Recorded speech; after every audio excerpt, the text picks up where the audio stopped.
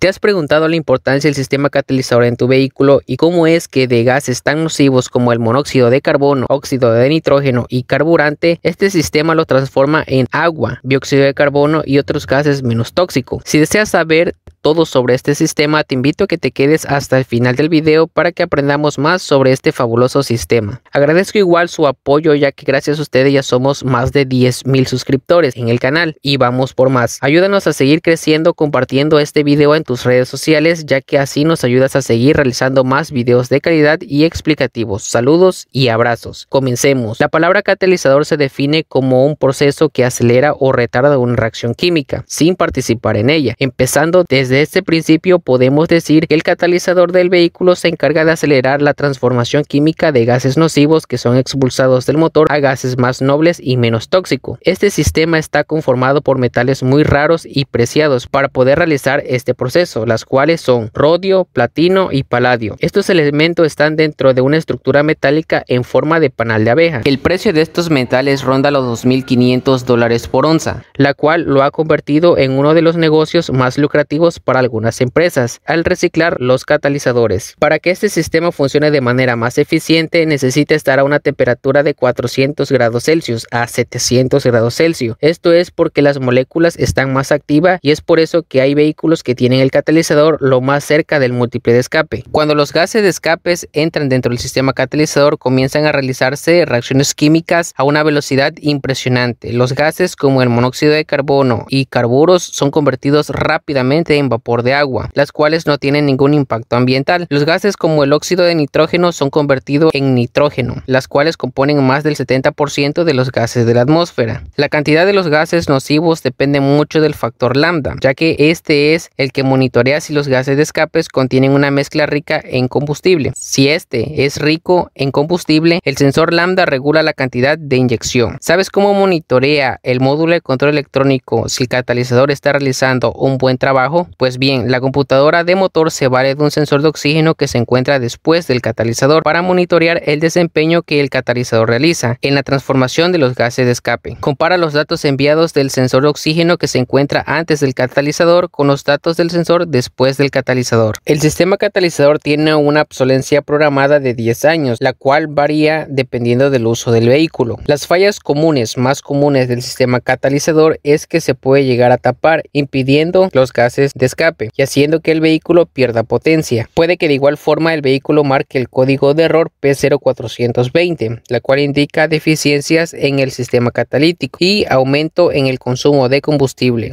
Para saber si el sistema catalítico está tapado, es muy conveniente que retiremos el sensor de oxígeno que se encuentra antes del catalizador para que los gases de escape sean expulsados por el orificio del sensor de oxígeno. De esta forma podríamos saber si el sistema catalítico está tapado.